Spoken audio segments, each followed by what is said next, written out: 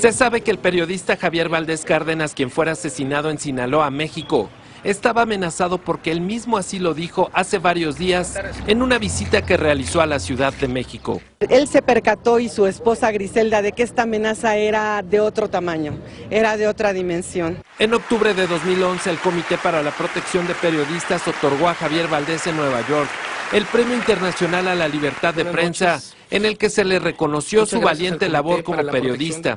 Y es necesario que las autoridades eh, esclarezcan este caso en forma exhaustiva, en forma creíble y puedan dar quiebre al ciclo de impunidad que rodea la mayor parte de estos crímenes.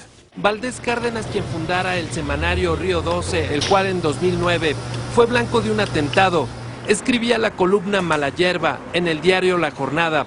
La última que escribió se tituló El licenciado y se publicó el mismo día del homicidio. Yo creo que era un hombre muy valiente, ¿no? Y que a pesar de que sabía que en cualquier momento podía perder la vida, o sea, él seguía adelante. Valdés escribió sobre el narcotráfico en los estados de Veracruz, Tamaulipas y Ciudad de México dejó de ser un asunto exclusivo de la zona serrana y ahora tenemos a un narco más eh, urbano, más metido en, en las ciudades. En 2016 fueron asesinados 11 periodistas, el año más violento contra la prensa en México. Este año son seis. Miguel Ángel Osorio Chong, secretario de Gobernación, se refirió al tema del ataque contra los periodistas.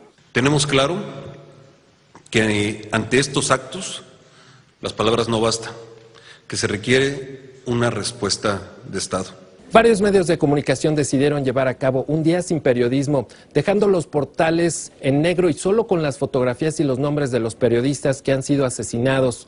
La Unión Europea condenó el homicidio de Javier Valdés, así como la Embajada de Francia en México. En Ciudad de México, Alejandro Roltán, Univisión.